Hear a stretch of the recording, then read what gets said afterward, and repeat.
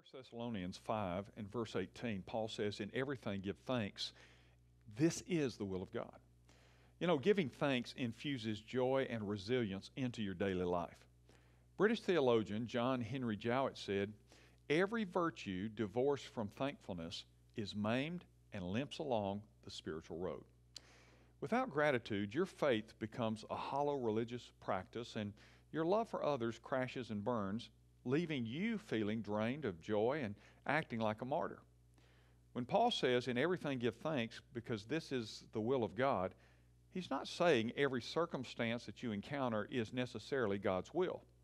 Pastor Jack Hayford observed, In every insurance policy is this provision, except it be an act of God. And culturally defined, they're the worst things that can happen. I've heard people interpret it, well, whatever happens is the will of God. So give thanks and praise God. Well, the Bible doesn't say everything is God designed. It says in it, through it, and beyond it, He can work for good. The will of God in Christ is that we give thanks and praise to God in the middle of it. Why is that? Well, because we feel good? No. But because praying without ceasing introduces a song of praise into our situation. Muddling and praying our way through the best we can, we can do isn't going to be good enough. Whereas the best that he can make of it will be some, something that will bring, well, the reason, and that's the reason the Bible tells us that in everything we give thanks.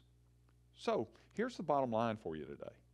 In any given set of circumstances, you can choose to whine or you can choose to worship, and you can't worship without giving thanks. So, no matter what the circumstances that you're facing, give thanks. But it doesn't mean that God has produced those circumstances for His will, but certainly wants to use them for His glory. I'm Ray Jones, and that's another heart truth for your day.